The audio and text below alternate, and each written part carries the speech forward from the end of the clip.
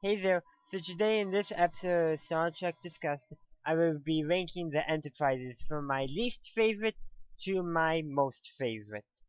So, I'll be including e everyone that has appeared in a TV show or a movie. So, pretty broad thing. And this video was inspired by a comment by Montgomery Wolf from my worst Star Trek video, or worst Star Trek ship video. I mispronounced that. But um, what he said with his least favorite is I do agree with him on this. It's the Enterprise D. It's so big and in a way a bit unrealistic.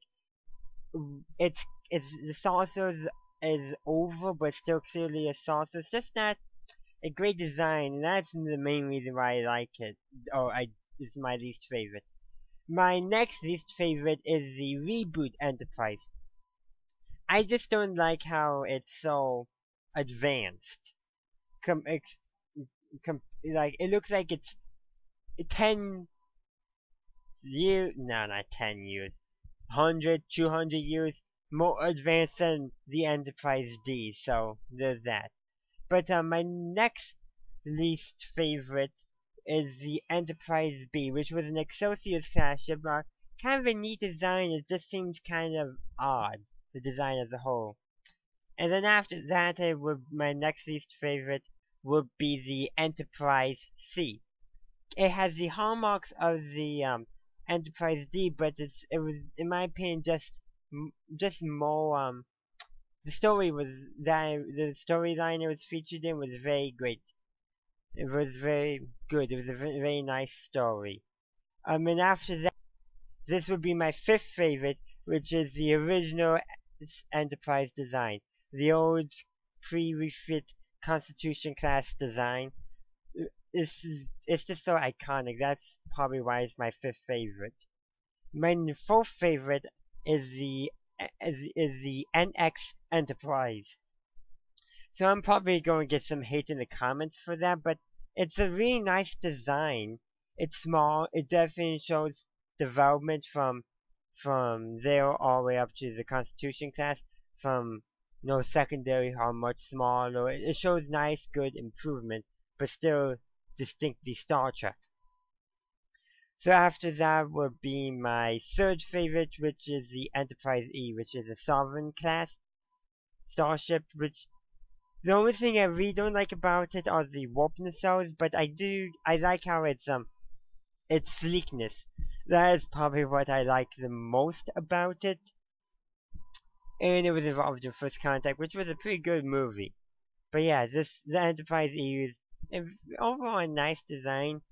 It, it's definitely better. It's um, it it it also reminds me a little bit of Voyager as well. You can't see what I'm going here though.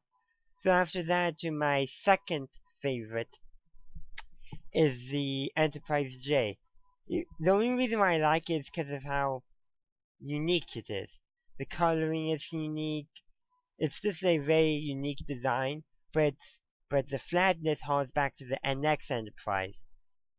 And it's probably not, in my, to be honest, it's probably not the most functional Star Trek starship out there, but it's just unique. That's probably why it's my second favorite. But for my favorite one, is kind of going to be put out a little differently. Is the is the Enterprise A or the or you can also say the Enterprise refit. So basically the Constitution refit class. So you can put the Enterprise, the first one, NCC 1701, after it was refit, or the Enterprise A. They look identical except for one has an A in added to it and one doesn't. I just kind of liked how this one was designed. It was if you can still tell with the Enterprise, in my opinion, it's much better than the refit, not the refit, the reboot Enterprise.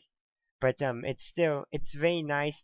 You can see, you know, development, the progress in it between it and you can see how when you put the NX Enterprise, the original series Enterprise, then you put the refit Enterprise, and then you put the the Enterprise D you can see technological progression. You can see how they got from from the NX, NX class type all the way up to the galaxy and beyond. You can see how that's going.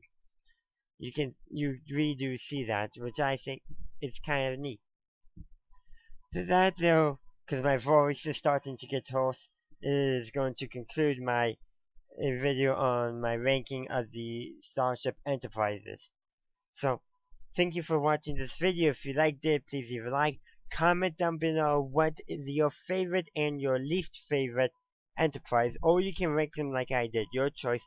And in the comments down below, if you want to include non-canon ships, non-canon enterprises, go ahead. You can even include real-world enterprises if you want to. Might do that in the future, probably not, but you can if you want to.